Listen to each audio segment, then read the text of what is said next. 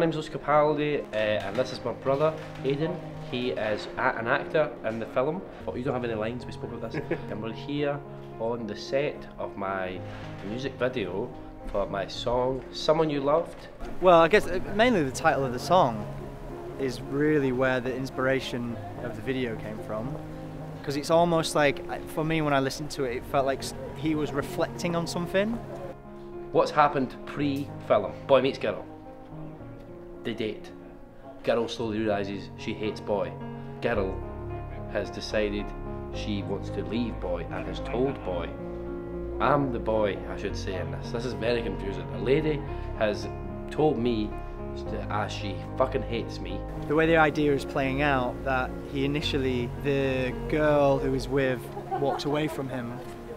And I, I as a young, foolish, um, foolhardy young boy, uh, I try and charge, I try and charge after her. And he, he generally walks down the street, wants to turn around, and it's one per, like one person stops him from going back.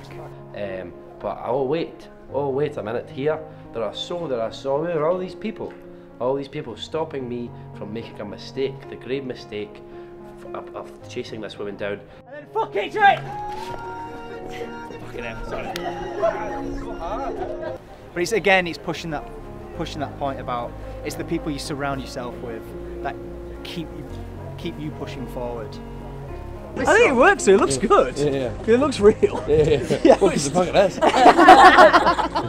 it's a metaphor for the people in our lives who look out for us, even when we don't know them. Even sh- no, not know them. even when we least, we least, we least, we least expect. We don't know they're looking out for us.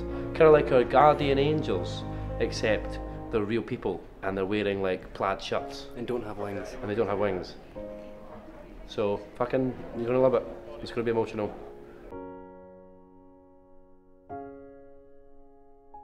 That is a wrap for today. Well Yeah. Fucking sweet niblets, my man.